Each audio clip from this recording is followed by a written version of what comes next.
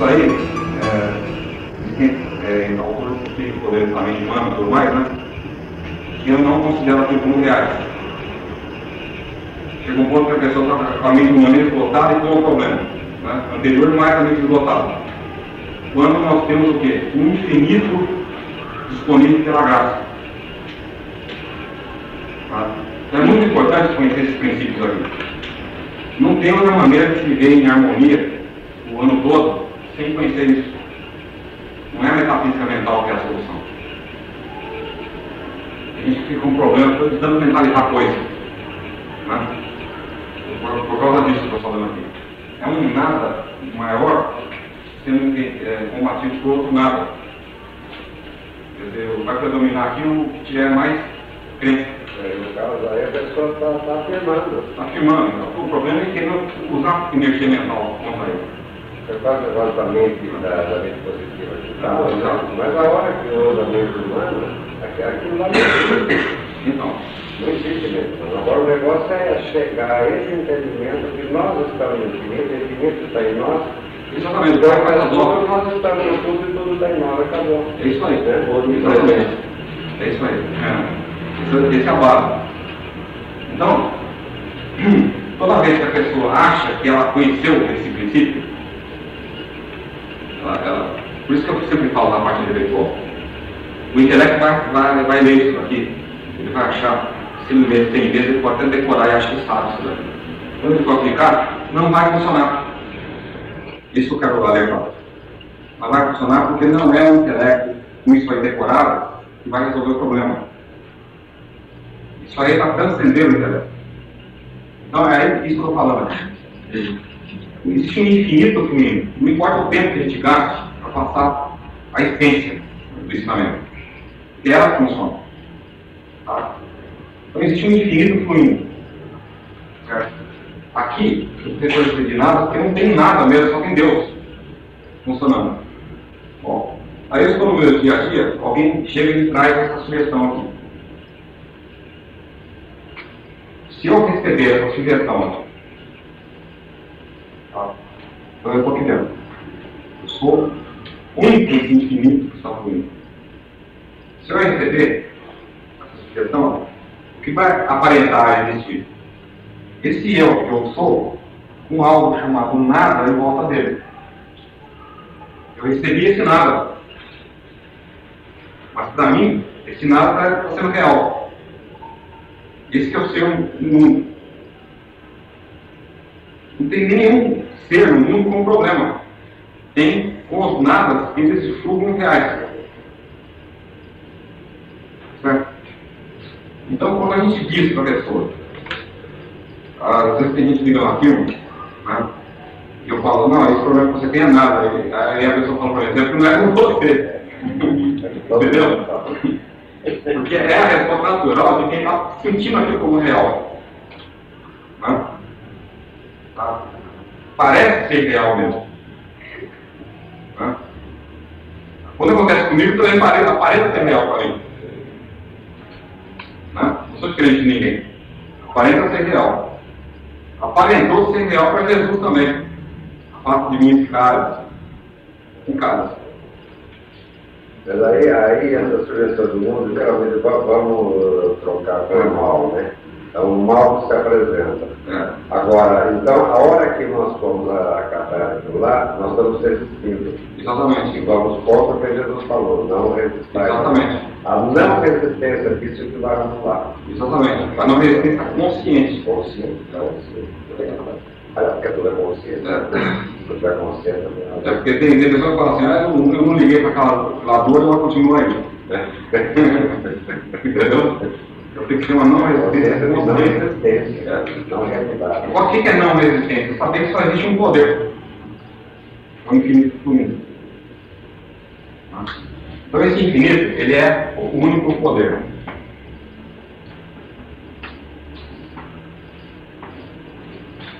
Então, quando chegou, porque disse nada na forma de aparência, vai chegar para todo mundo o tempo todo. Né? O dia inteiro chegando. Chegando aqui. Pode morrer, porque ele, nós estamos dentro do infinito. Que é o ser que nós somos, é o próprio Deus feito indivíduo. Esse é o ser que nós estamos sendo aqui.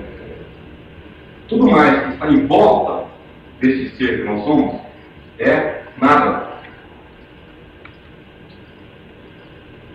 Quando a gente olha no espelho, a gente vê um ser projetado, é o nada em volta do nosso ser. É o espelho do mundo, projeta imagens de si mesmo. Né? Nós estamos projetando aparências no espelho. Nós não somos aquilo. Então, o ser que nós somos é o infinito mesmo, é um ser transcendental, espiritual, puramente espiritual, que está aqui de forma imutável, com os nadas de volta.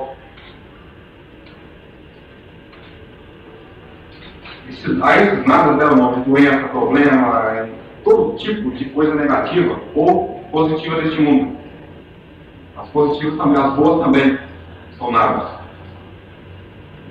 Tudo que chega aqui, tudo que chega aqui, e vai formando esse anel em volta. Aí isso aqui é que eles chamam de consciente e subconsciente. Isso é muito de crença. Que não são o nosso ser. Nunca foram o nosso ser. Qual é o nosso ser?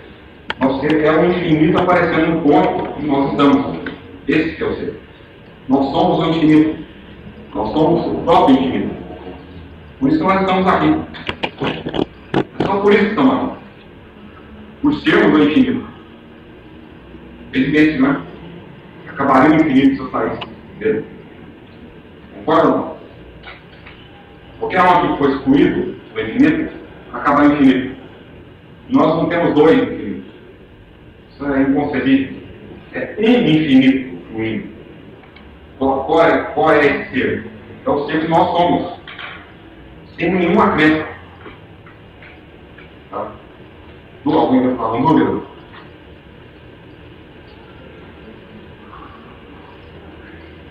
Tem dúvida? Pode falar. Não, eu não sei. Eu sei para mim, mas não sei me expressar.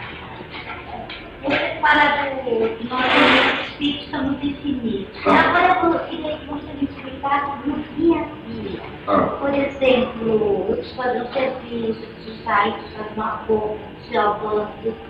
Que ninguém está fazendo isso. No dia a dia. No dia a dia, no ah. serviço do dia a dia. Ah. Veja bem, vamos, explicar direitinho isso aí. Essa, dúvida. É, que minha. Eu vou explicar naquela isso aqui, vamos, dizer, vamos, vamos chamar essa parte central real de realidade. Realidade, tá? Vamos chamar então um quadro crenças aqui. O que, que tem dentro? Eu estou aqui, ó, sendo um com infinito, tá? E aqui nessa crença, o que tem? Tem uma imagem humana que disser eu sou. Está na crença só. A visão, a visão cósmica não enxerga esse ser. Tá?